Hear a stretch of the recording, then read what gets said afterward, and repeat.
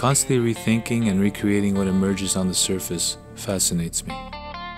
You could say I'm always on the edge of doing or not doing, and so I worry that I may have acted contrary to my goals. I guess in some ways it's like being in a state of perpetual anticipation. So there is a certain level of anxiety associated with my process. I became interested in art as a child during a family trip to Greece. My mom had a friend who was married to an artist. All it took was that one look, seeing his place filled with artwork, portraits everywhere, and even some abstract pieces. Had a real impact on me.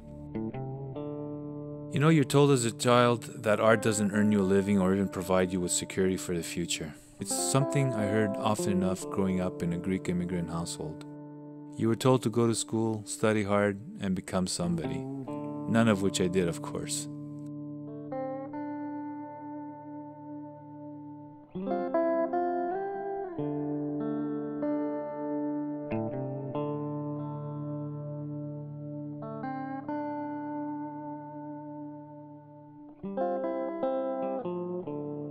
When something as powerful as art keeps pulling at you, you seem to find that way. You keep painting and drawing and creating as often as you can. It kept uh, it kept tugging at me, kept pulling at me, you know, and and I and I had other outlets for art, which were graphic arts. Like I did a little bit of graphic arts for a while, and. Um, and that was okay but uh, you know it wasn't really you weren't able to really express yourself.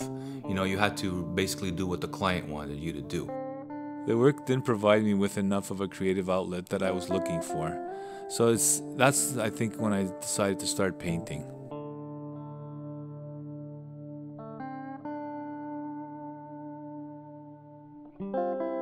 I think the landscape always intrigued me way before I even picked up a brush, so naturally it was the first thing I tried painting. I had a lot of respect for its resilience and the raw energy you feel as you look at those ominous clouds just ready to take you out. But it was this other side of it that spoke to me this enduring sense of hope and serenity. You see it expressed in those intersecting lines between our world and the natural world. About a year and a half ago, I decided to just do geometric abstraction to try and capture that same sense of serenity I felt when I looked at the landscape. I wanted there to be more of a focus towards conveying spontaneity and experimenting with movement, color, shape, and form. It's important to me to see that sense of interaction throughout the work, to see it moving forward and backwards and play with the other forms, and to find that shimmer deep inside the color, something I always search for. Interaction is a funny thing, I guess. You could say it's movement captured as a still.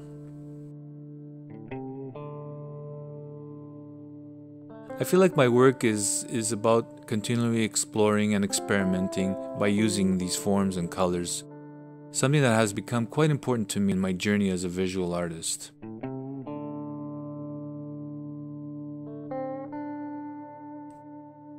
My journey as I see it is one of color, form, and self exploration. And I like that.